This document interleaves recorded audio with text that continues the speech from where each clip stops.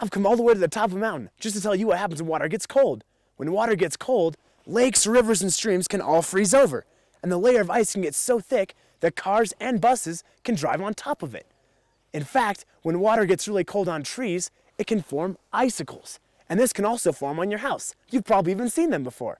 Now, when water gets trapped inside of pipes and freezes, it can burst. Another form of water is snow. Take some snow and stick it into a jar and pack it in. Then stick it in a warm place and watch what happens.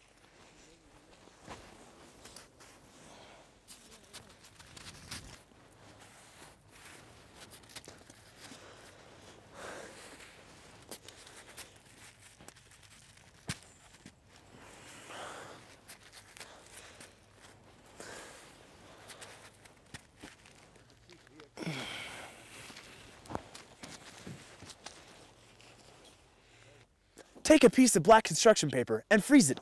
That way it's really cold. Then go outside when it's snowing, like now, and try to catch some on your black construction paper. That, that- that's enough snow, Michael. then take the magnifying glass and look at the snow. Look at the snow. Every single snowflake is different. They never even repeat.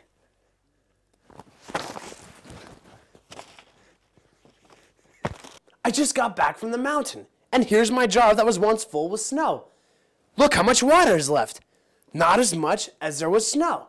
That's because the water takes up less space than the snow does. Isn't that amazing?